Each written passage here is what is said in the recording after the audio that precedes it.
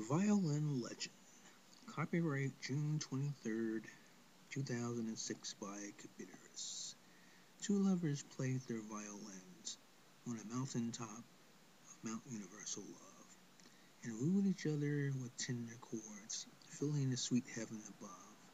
But one day Aphrodite called him away to play for another couple.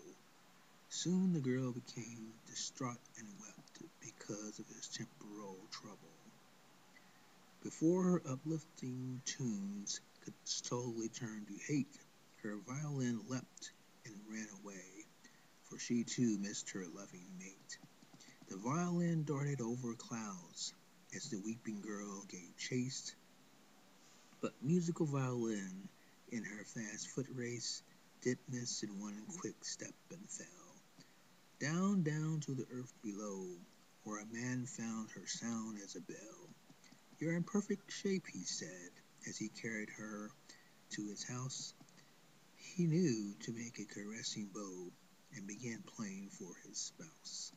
The violin played only at first simple, loveless, boring tunes until she realized he loved his wife as much as a flower adores June. Violin felt so much joy she forgot her marooned honeymoon.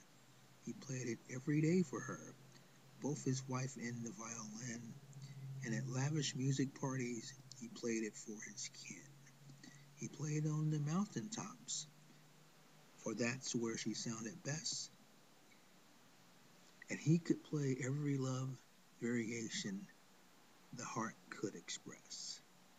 And the girl above in heaven gazed down, her broken heart impressed with the lovely, charming music that put her thoughty distress to rest.